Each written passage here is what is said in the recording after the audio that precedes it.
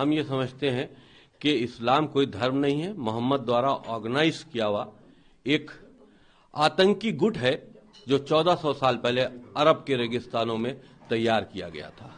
उत्तर प्रदेश के प्रमुख मुस्लिम चेहरों में शामिल रहे वसीम रिजवी इस्लाम छोड़कर आज से हिंदू बन गए हैं। सिया बख बोर्ड के पूर्व चेयरमैन वसीम रिजवी ने गाजियाबाद के शिव शक्ति धाम स्थित डासना देवी मंदिर में सनातन धर्म ग्रहण किया।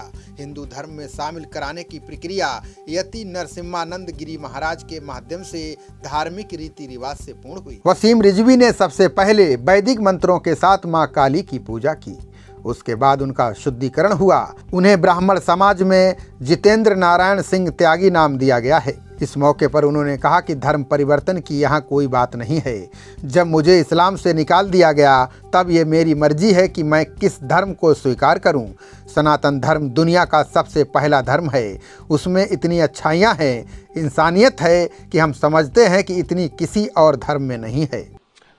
धर्म परिवर्तन की यहाँ पर कोई बात नहीं है, जब मुझको इस्लाम से निकाल ही दिया गया तो अब ये मेरी मर्ज़ी है कि मैं किस धर्म को स्वीकार करूँ।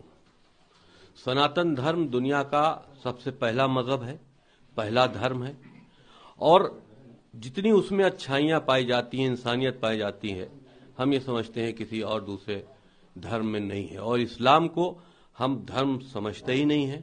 इतना पढ़ लेने के बाद, इस्लाम के बारे में मोहब्बत के चरित्र के बारे में, और जो उनकी आतंकवादी चेहरा है उसको पढ़ने के बाद हम ये समझते हैं कि इस्लाम कोई धर्म नहीं है। मोहम्मद द्वारा ऑर्गेनाइज किया हुआ एक आतंकी गुट है, जो 1400 साल पहले अरब के रेगिस्तानों में तैयार किया गया था।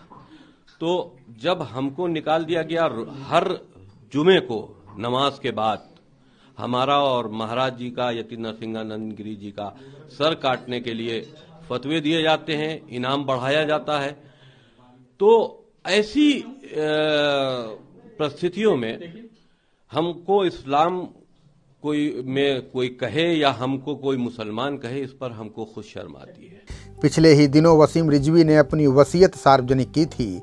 उसमें उन्होंने ऐलान किया था कि मरने के बाद उन्हें दफनाया ना जाए, बल्कि हिंदू रीति रिवाज से अंतिम संस्कार किया जाए। उनके शरीर को जलाया जाए। वसीम रिजवी ने कहा था कि यति नरसिम्हानंद उनकी चिता को अग्नि दें। इस्लाम में सुधार की मांग कर चुके वसीम रिजवी अपने बयानों और गतिविधियों की वजह से चर्चा में रहते हैं। उनका दावा है कि इस वजह से उन्हें कई बार धमकियाँ भी मिल चुकी हैं।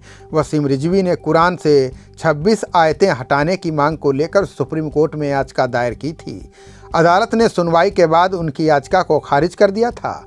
इसके बाद से वसीम रिजवी मुस्लिम संगठनों के निशाने पर हैं। खबरों का सिलसिला जारी रहेगा। देखते रहिए जनप्रवाद। नमस्कार।